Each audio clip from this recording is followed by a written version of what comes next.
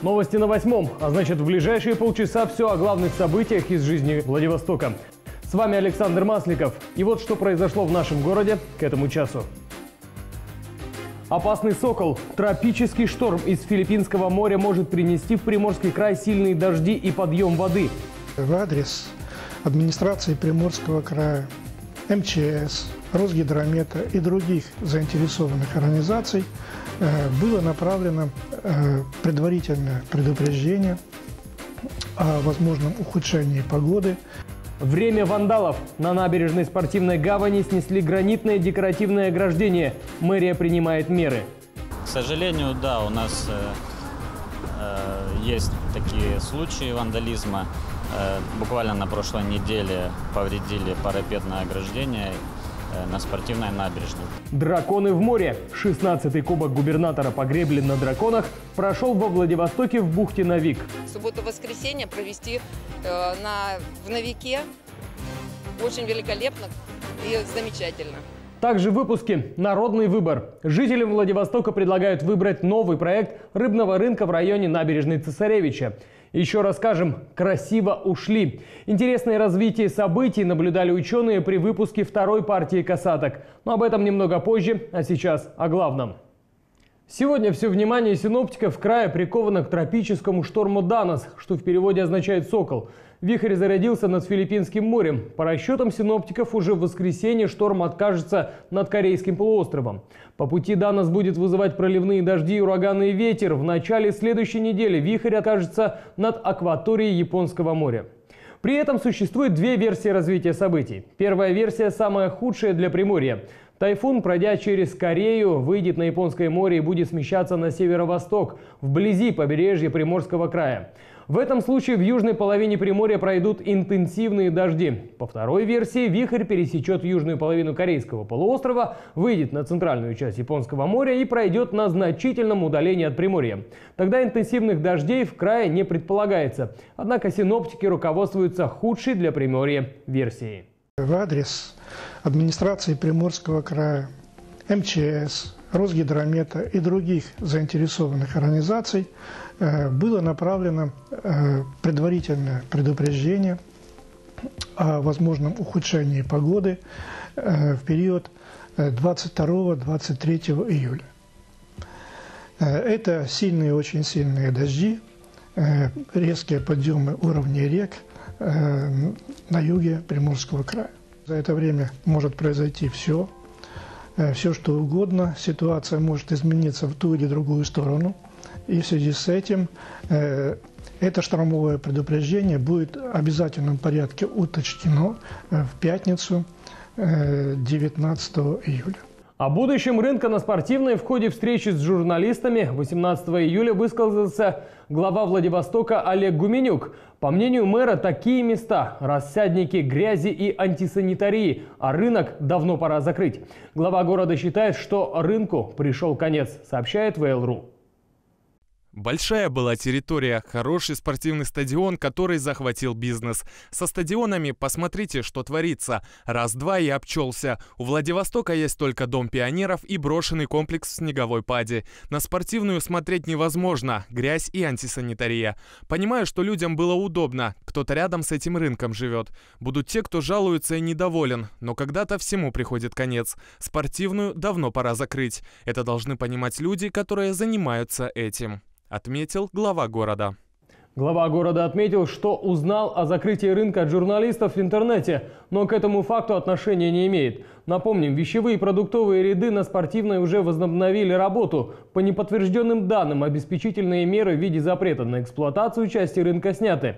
До этого рынок был закрыт из-за нарушений пожарной безопасности. Также глава города прокомментировал снос незаконных торговых объектов. С ларьками и криминальной торговлей мэрия будет бороться. Сейчас в администрации готовят законопроект, чтобы увозить незаконные объекты быстрее, а не за два месяца, как сейчас. Тем временем на набережной спортивной гавани продолжают демонтировать незаконные объекты. На этот раз под снос попала самовольно построенная веранда-кафе, владельцы которой получили соответствующее постановление задолго до предстоящего сноса, но слишком поздно приступили к демонтажу. Часть постройки владельцы убрали самостоятельно. В дальнейшем специалисты административно-территориального управления Фрунзенского района и муниципального предприятия содержания городских территорий продолжат работу по демонтажу незаконных объектов на набережной спортивной гавани в соответствии с действующим законодательством. Отметим, что снос самовольно установленных объектов на спортивной набережной – лишь малая часть большой работы по наведению порядка на этой территории. К слову, набережная спортивная гавань в эти дни прославилась не только принудительным сносом торговых объектов. Здесь произошел вопиющий случай жесткого вандализма. Неизвестные, надеемся, что пока неизвестные, снесли гранитное декоративное ограждение. Полиция возбудила дело. Жители города резонно поинтересовались, куда смотрели камеры видеонаблюдения. Отметим, что вандализм в последнее время в дальневосточной столице переходит все пределы. Евгений Черемухин продолжит тему.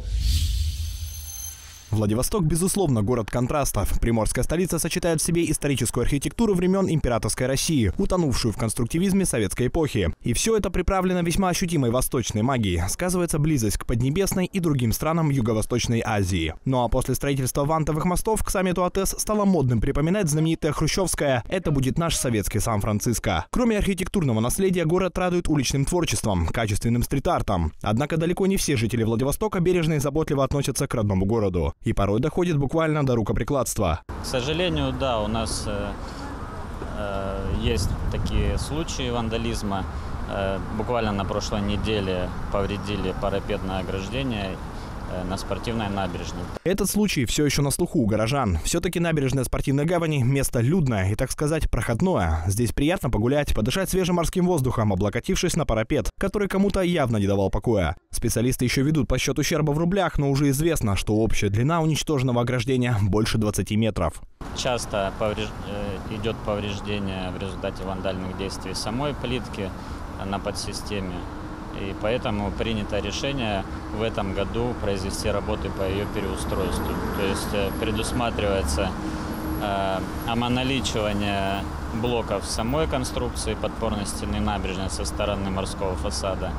Будет, э, работы будут выполнены э, с применением гидротехнического бетона для предотвращения от э, разрушения агрессивной морской средой. Именно для борьбы с вандалами мэрия Владивостока и лично глава города Олег Гуменюк поручили профильным службам установить еще 25 камер наружного постоянного видеонаблюдения на набережной. Очевидно, обзора уже существующих камер для обнаружения вандалов недостаточно. Установить видеокамеры обещают в следующем году. Также в планах у администрации Владивостока в ближайшие годы оборудовать цифровыми глазами все общественные территории города. В дальнейшем естественно, мы будем восстанавливать. Есть соответствующая юридическая процедура. Правоохранительные органы должны выявить лиц, которые причинили этот ущерб. И в дальнейшем мы в судебном порядке будем взыскивать эти средства. Впрочем, парапетное ограждение не единственная жертва вандализма. Автобусные павильоны – излюбленное место для местных художников слова, как и различные знаки и запрещающие таблички. Подземные пешеходные переходы – та же история. И при всем критическом отношении приморцев к власти нужно признать, что наше с вами отношение к своей малой родине имеет значение. Евгений Черемухин, Станислав Латебный. Новости на восьмом. Сейчас мы уйдем на короткую рекламу, после которой Народный выбор. Жителям Владивостока предлагают проголосовать за новый проект рыбного рынка в районе набережной Цесаревича. Красиво ушли. Интересное развитие событий наблюдали ученые при выпуске второй партии касаток. Драконы в море. 16-й кубок губернатора по гребле на лодках-драконах прошел во Владивостоке в бухте Навик.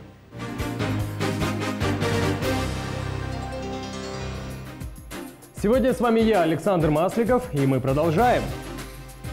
Народный выбор. Жителям Владивостока предлагают проголосовать за новый проект рыбного рынка в районе набережной Цесаревича. Красиво ушли. Интересное развитие событий наблюдали ученые при выпуске второй партии касаток. Драконы в море. 16-й кубок губернатора по гребле на лодках-драконах прошел во Владивостоке в бухте Навик. Жителям Владивостока предлагают выбрать новый проект рыбного рынка в районе набережной Цесаревича. Для народного голосования специально создали сайт, где приняли участие в вопросе уже больше тысячи человек. Мнение горожан обещают учесть. Грандиозное строительство торговой площади должно было завершиться еще пару лет назад. Но все время шло что-то не так. Мешало отсутствие генплана, но его как раз утвердили в 2018 году. И там место под рынок определено на набережной Цесаревича. Юрий Трутнев поручал выделить участок по строительству грандиозного сооружения до начала апреля прошлого года. Но вот уже июль следующего, а разной степени доступности рыба по-прежнему не имеет дома. Напомним, еще в 2017 году рыбный рынок предлагалось построить в виде морского ската. Эффектный дизайн торговой площади мог бы стать настоящей архитектурной жемчужиной не только приморской столицы, но и всего Дальнего Востока. Теперь полагают приморские СМИ, о рынке в форме ската можно забыть. В целом, все четыре предложенных эскиза прямоугольные приземистые здания в два этажа с эксплуатируемой кровлей. Проголосовать за эскиз можно на сайте fishmarketvl.ru. Рыбный рынок должен появиться в районе Корабельной набережной на берегу, на берегу бухты Золотой Рог в районе пилонов моста. Жители дальневосточной столицы могут приобрести горбушу от 150 рублей, на вагу от 84 за килограмм. Очередной мониторинг цен на рыбу провели специалисты Департамента лицензирования и торговли Приморского края. По информации ведомства, во Владивостоке самая доступная цена на красную рыбу сегодня на Некрасовском рынке. Горбушу можно приобрести от 150 рублей, киту от 250 рублей за килограмм. Камбалу выгодно закупать на рыбном рынке. Здесь она продается от 70 рублей за килограмм. Рыбу по доступным ценам можно приобрести и в супермаркетах края. Реми, Фреш 25, Самбери. Килограмм селедки стоит 57 рублей. На ваге в Реми 84 рубля. Кальмар продается от 152 рублей. В крае продолжает действовать социальная программа «Приморская рыба». На сегодняшний день в ней участвуют более 250 предприятий торговли по всему региону. Помимо этого, каждые выходные на протяжении всего июля на центральной площади Владивостока работает сельскохозяйственная ярмарка, на которой можно приобрести морепродукты, рыбу, фрукты, овощи и выпечку от местных производителей. Теперь снова о касатках, но на этот раз, помимо сухих фактов, вас ждет и один трогательный момент. Начнем с того, что вторую партию касаток из Приморья трех особей выпустили в Охотское море в районе мыса Перовского Хабаровского края, сообщает пресс-служба ВНИРа. Животные хорошо перенесли весь путь из Приморского края. На всех этапах их сопровождали опытные тренеры, ветеринары и научные сотрудники. Выпускались они двумя партиями и продемонстрировали при этом настоящее чувство товарищества. Вначале выпустили самца и молодую самку. Но вместо того, чтобы направиться в открытое море, касатки развернулись и пошли к берегу, ожидая выпуска взрослой самки. После ее выпуска группа объединилась и животные пошли вдоль берега на расстоянии 300 метров в восточном направлении. В открытое море они ушли сплоченной группой. Впереди выходные в городе состоится большое количество культурных, познавательных и развлекательных мероприятий. Каждый сможет найти что-то по душе. А моя коллега Катерина Матвеева поможет сделать правильный выбор в традиционной рубрике «Афиша». Здравствуйте, меня зовут Катерина Матвеева и сейчас все о самых интересных событиях на ближайшие дни. Дети и их родители приглашаются на экскурсию Приморского музея имени Арсеньева «Экспедиция по Светланской». Путь пройдет по самой главной улице города, растянувшейся вдоль бухты Золотой Рог. На экскурсии юные горожане будут внимательно смотреть по сторонам, находить интересные детали в архитектурном убранстве города, перевоплощаться в поэтов, футуристов и исследователей, играть и искать ключи к заданиям и рисовать. Начало в 12.00, стоимость билетов 300 рублей. Сопровождение взрослого обязательно. Билет для сопровождающего не требуется. Дуэт классических гитар выступит в библиотеке БУК. Приморский гитарный дуэт был создан выпускниками Дальневосточной государственной академии искусств Алексеем Виланским и Михаилом Бойко. В рамках пятничного выступления прозвучат оригинальные произведения, написанные для дуэта классических гитар. Начало в 19.00, вход свободный. В главном корпусе Приморского музея имени Арсеньева работает выставка для детей. Она посвящена пернатым обитателям нашего края. Посетители увидят более 40 птиц, а также гнезда, яйца, гербарии и насекомых из музейной коллекции. Стоимость билетов от 100 до 200 рублей. Второй международный праздник шашлыка состоится на спортивной набережной возле главного фонтана. Организаторы собираются побить рекорд прошлого года и приготовить шашлык длиной 100 метров. После мясом угостят всех гостей праздника. Участников ждет не только вкуснейший шашлык, но и конкурс по поеданию хинкали, подарки и отличное настроение. К слову, шашлык можно не только есть, но и готовить. Для этого необходимо отправить заявку организаторам. Начало в 11.00, участие бесплатно. Фестиваль «Ведьмака» состоится во Дворце детского творчества. На фестивале перемешается средневековая атмосфера и современные реалии. Рыцари, купцы, косплей, лекция разработки игр, музыканты, стрельбища, средневековые танцы и, конечно же, «Ведьмак». Начало в 12.00, вход на фестиваль свободный. В Театре молодежи состоится необычайное происшествие в двух действиях «Ревизор» по пьесе Николая Васильевича Гоголя. 21 век – время перемен. Меняются технологии, культурные ценности, меняются люди. И меняются роли. Женщины занимают руководящие должности, мужчины ведут кулинарные блоги. Вот и на пьесу «Ревизор» решили посмотреть с точки зрения наблюдателя в 21 веке. Все чиновничьи посты в спектакле занимают представительницы прекрасного пола. Но даже женщины-чиновники в первую очередь женщины. И, конечно же, кто как не Хлестаков станет идеальным мужчиной для этих сильных, прекрасных дам. На этот раз пьеса «Ревизор о любви». Начало 18.30, стоимость билетов от 300 до 600 рублей. Любите танцевать? Тогда вам на спортивную набережную. В амфитеатре состоится третий этап фестиваля уличных танцев Street Air. В нем могут участвовать все, кто танцует, любит танцевать и стремится научиться. Главное условие – любовь к танцам и желание делать это лучше, ярче, день за днем. А компетентные судьи чемпионата укажут, над чем стоит поработать, чтобы достичь лучшего результата. Состязания пройдут несколько этапов, которые планируется проводить каждый месяц, а закрытие и определение лучшего танцора пройдет в сентябре этого года. Начало в 12.00 вход свободный.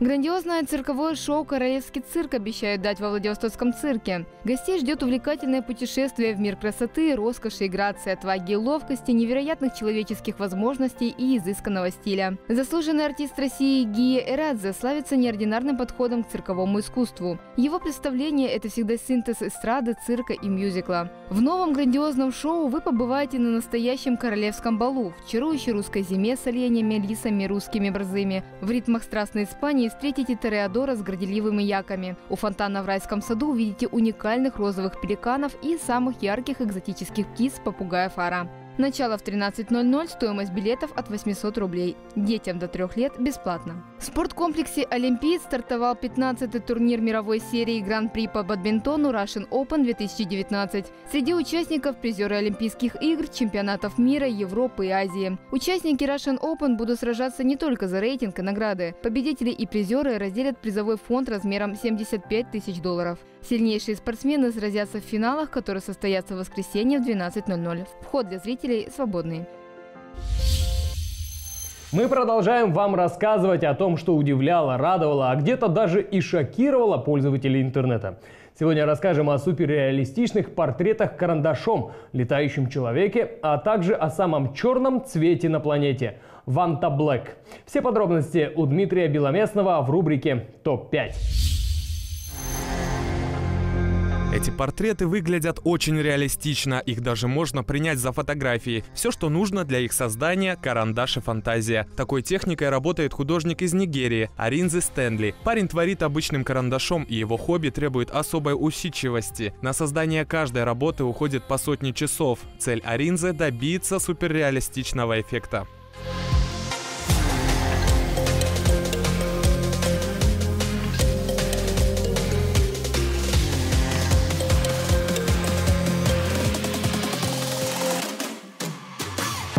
Во Франции состоялся традиционный военный парад в честь дня взятия Бастилии. В нем принял участие французский изобретатель Фрэнки Запата, который пролетел над Елисейскими полями на Flyboard Air. Устройство представляет собой ховерборд с пятью реактивными двигателями. Мужчина держал в руках винтовку. Между тем, пользователи сети сравнили Flyboard Air с глайдером врага Человека-паука Зеленого Гоблина.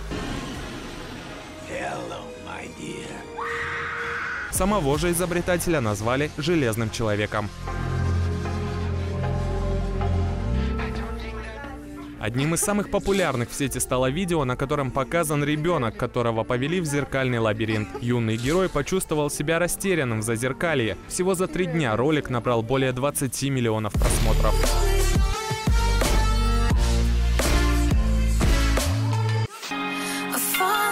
Краснодарском крае бездомный пес отвязал от забора хозяйскую собаку и попытался с ней прогуляться. Забавное видео попало в сеть. На кадрах дворняга сначала пытается развязать узел, а потом перегрыз поводок. Освободив своего породистого сородича, пес ведет его, держа поводок в пасти. Но беглецов все же остановили. Преступник пойман. Очень хитрый пес. Фамилия, имя, отчество, представься. Возвращена на место. Мой цвет настроения черный. Фил. Мой цвет настроения черный. Это самый черный металл на планете. Ванта Блэк поглощает 99,96% видимого света. Это даже не цвет, а отсутствие всякого цвета. Для человеческого глаза это как черная дыра. Если нанести вещество на какой-то предмет, то оно просто исчезнет. Ванта Блэк сломает вам мозг. Дмитрий Беломеснов, новости на восьмом.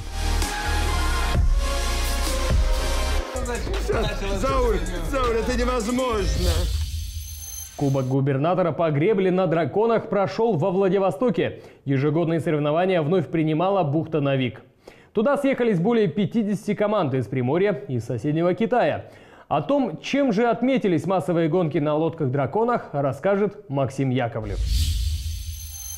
Гонки на драконах — это не что-то из детских сказок, это самые что ни на есть спортивные соревнования. Владивосток проводит их каждое лето, а самой престижной и массовой встречей этих мифических существ становится Кубок губернатора Приморья. В этот раз грибные состязания собрали более 50 команд из Приморья и соседнего Китая, который, к слову, и познакомил нас с лодками-драконами. Первый раз э, наши спортсмены выехали на соревнования в 1998 году э, в город Юян по приглашению китайской стороны. С этого момента вот как раз-таки началась, началось развитие гребли на лодках «Дракон» и в Приморском крае, и в Российской Федерации. Международная регата по традиции проходила в бухте Навик. Участников сначала ждали предварительные заезды, после которых только лучшие попадали в полуфинал, а затем и в финал. Дистанция, как всегда, одна – 200 метров. Гонки хоть и получаются очень быстрыми и сложными, однако при этом остаются доступными для любителей и новичков. Каждый год сюда приезжают коллективы из 10 человек самого разного статуса и опыта. Я во многими спортами занимался, но гребля на драконе – это самый командообразующий вид предпри... э, спорта, потому что здесь от каждого зависит. То есть один облажался, облажалась вся команда, все. То есть э, плотнее и дружнее нигде в других местах, другого спорта не бывает. Мы все из, разного, из разных областей, в разных организациях работаем. Здоровый образ жизни, здоровая здоровый настрой и здоровое проведение отдыха своего. Субботу-воскресенье провести э, на, в Новике очень великолепно и замечательно. По итогам соревнований первое место среди женщин досталось именно команде «Аквамарин». В мужской категории лучшим оказался еще один владивостокский экипаж «Прим Дрэгон». Интересно, что китайские коллективы впервые за последние несколько лет в призеры не попали. Родоначальники гребли на драконах, тем не менее, остались довольны соревнованиями. Я был на соревнованиях во многих странах. Очень горжусь тем, что россияне, как и другие иностранцы, принимают нашу национальную гребную культуру. Я занимаюсь этим спортом уже более 40 лет и не собираюсь бросать это дело. Кроме традиционных гонок на драконах, здесь же прошли и соревнования на океанских каноэ-аутриггерах, байдарках и сапах. В целом праздник спорта оказался максимально насыщенным как борьбой на воде, так и развлекательными секциями на суше. Максим Яковлев, новости спорта на восьмом. И напоследок еще раз коротко об основных событиях во Владивостоке. Опасный сокол. Тропический шторм из Филиппинского моря может принести в Приморский край сильные дожди и подъем воды. Законом по беззаконию. Специалисты администрации Владивостока продолжают демонтировать незаконные объекты на набережной спортивной гавани. Время вандалов. На набережной спортивной гавани снесли гранитное декоративное ограждение. Власти города принимают радикальные меры. Народный выбор. Жителям Владивостока предлагают проголосовать за новый проект рыбного рынка в районе набережной Цесаревича. Красиво ушли. Интересное развитие событий наблюдали ученые при выпуске второй партии касаток. Драконы в море. 16-й кубок губернатора по гребле на драконах прошел во Владивостоке в бухте Навик. На сегодня это все. Есть что добавить? Заходите на страницы восьмого канала во всех социальных сетях или на наш официальный сайт. Там найдете все видеоматериалы, а также другую полезную информацию. Самые интересные события оставляйте на официальном сайте канала или присылайте по WhatsApp.